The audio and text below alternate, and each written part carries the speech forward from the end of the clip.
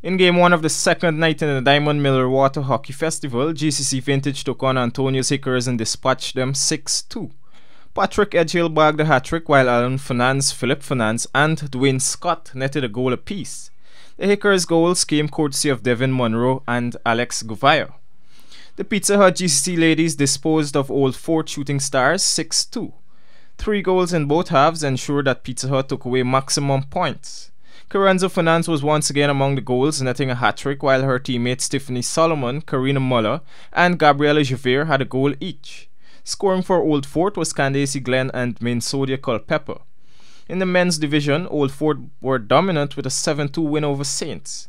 Jason DeSantos and Jason Clark bagged a brace each for the winners, with Jael Gaskin, Omar Hopkinson, and Akeem Hope scoring a goal each.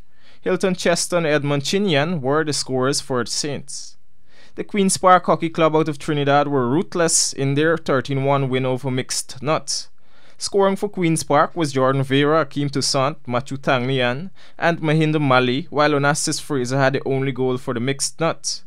The marquee matchup of the evening between the Pepsi Hikers and Bounty GC did not disappoint the crowd as the game saw action throughout the match, with a fine display of skill from both teams and an exciting finish.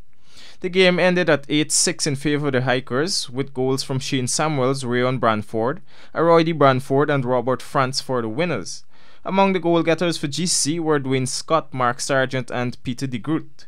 Action will continue this evening at the Cliff Anderson Sports Hall from 1700 hours.